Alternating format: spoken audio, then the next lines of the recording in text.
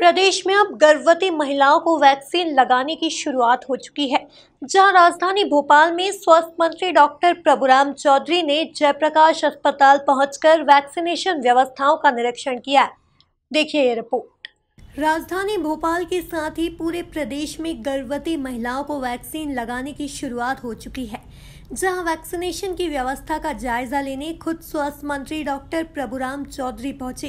इस दौरान स्वास्थ्य मंत्री शासकीय जयप्रकाश अस्पताल पहुँचे, जहाँ उन्होंने वैक्सीनेशन के साथ ही अस्पताल परिसर में बन रहे ऑक्सीजन प्लांट का भी निरीक्षण किया। मालूम है कि आज से पूरे प्रदेश में गर्भवती माताओं के लिए भी कोविड वैक्सीनेशन शुरू हुआ है। अभी तक जो प्रेगनेंसी थी, वो कोविड वैक्सीनेशन के लिए कांट्रा इंडिकेशन माना जाता था। पर राष्ट्रीय और स्टेट की गाइडलाइंस आ गई हैं, जिसमें अब प्रेग्नेंट वुमेन और लैक्टेटिंग वुमेन को भी कोविड का टीका लगाया जाना है।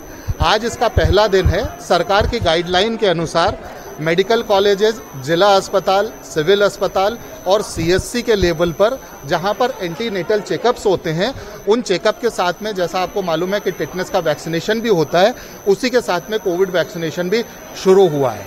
इस कोविड वैक्सीनेशन को गर्भवती माताओं को किसी भी ट्राइमेस्टर में लगाया जा सकता है। पूरे नौ महीने में जब भी गर्भवती माताएँ हमारे सिस्टम में आएँगी, हम उनको कोविड का वैक्सीनेशन दे देंगे। अगर कोई ऐसी गर्भवती माता है जिसको पहला डोज पहले लग गया है, गर्भवत, गर्भावस्था के कारण दूसरा डोज नहीं लग पाया है तो हम उसको दूसरा डोज भी दे देंगे। स्टेट गवर्नमेंट की गाइडलाइन के अनुसार अभी कोविड वैक्सीनेशन जो गर्भवती माताओं के लिए चल रहा है, उसमें केवल कोवैक्सीन लगाई जा रही है। अगर उसके बाद कोई और गाइडलाइन आती है तो कोविशील्ड भी उसमें शामिल कर ली जाएगी। तो आज हमारे भोपाल में 11 स्थानों पर कोविड का वैक्सीनेशन गर्भवती माताओं के लिए लग रहा है। ये ऑन साइट रजिस्ट्रेशन के रूप में लग रहा है, यानी इसके लिए पहले से प्री बुकिंग करवाने की आवश्यकता नहीं है।